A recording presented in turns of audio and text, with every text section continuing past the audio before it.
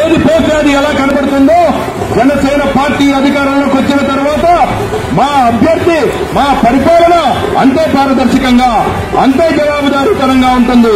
ఓటుకు నోటు కొంచెం మిగతా పార్టీలతో కంపేర్ చేసుకోండి పోల్చుకోండి. వాళ్ళు ఏం చెప్తున్నారు?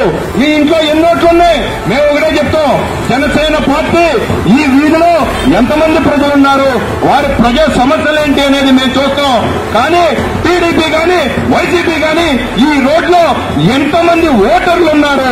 ఆ ఓటర్లకి మనం ఎన్ని నోట్ల కట్టలు పంచాలి అని చెప్పి దిక్కుమాలిన రాజకీయాలు చేస్తూ మనకి ఇక్కడ డ్రైనేజీ వ్యవస్థను అస్తవ్యస్తం చేశాయి.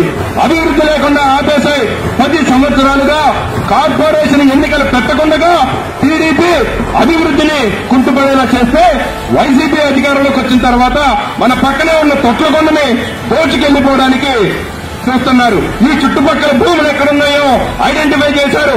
అధికారంలోకి వస్తే భూములు ఆక్రమించుకుందాం.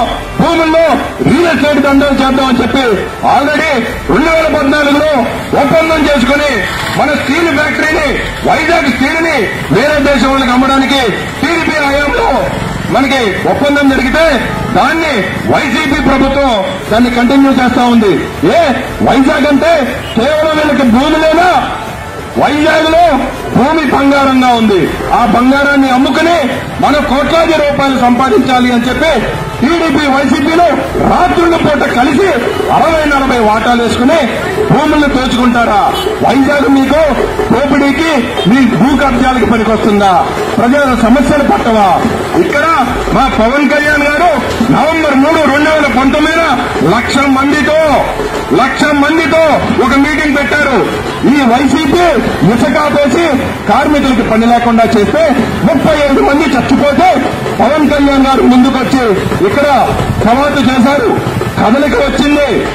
కదలిక వచ్చి అప్పుడు ఇసుక వారోత్సవాలను పెట్టారు. ప్రజలందరూ గమనించాలి. మన స్థానికులు మన దగ్గర ఉండాలి. మనం గెలిపించే అభ్యర్థి మన ఊరి వాడై ఉండాలి. మనకి అందుబాటులో ఉండాలి. ఎన్నికలకి వారం ముందు ఎన్నికలకు పది రోజుల ముందు వచ్చి ఓటుకు నోటు పార్టీలని ఒక్కసారి చీకొట్టి పక్కన పెట్టండి. జనసేన పార్టీ అధికారంలోకి వస్తే అభివృద్ధి అంటే ఎలా ఉంటుందో చూపిస్తాం.